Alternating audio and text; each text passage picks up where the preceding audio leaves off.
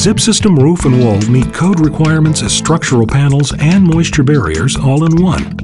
The scientists of Huber Engineered Woods have proven Zip System's moisture resistance with tests replicating extreme weather conditions, including wind, rain, and flood.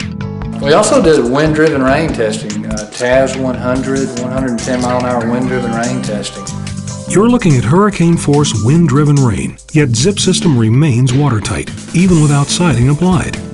But that's not enough for these scientists. They tried to force water entry into the system by applying suction under the panels in the next test called ASTM E331 water penetration testing.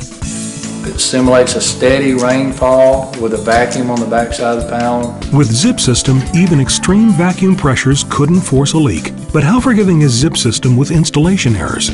Roof and wall panels with overdriven nails are exposed to standing water for hours on end. Zip System still provided superior moisture resistance. But it's not enough to be watertight. A water-resistive barrier must have enough permeability to allow the wall system to dry out but not so much that excess water vapor is allowed in.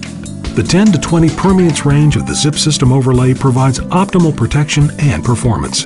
So when it comes to moisture management, science clearly proves that Zip System performs.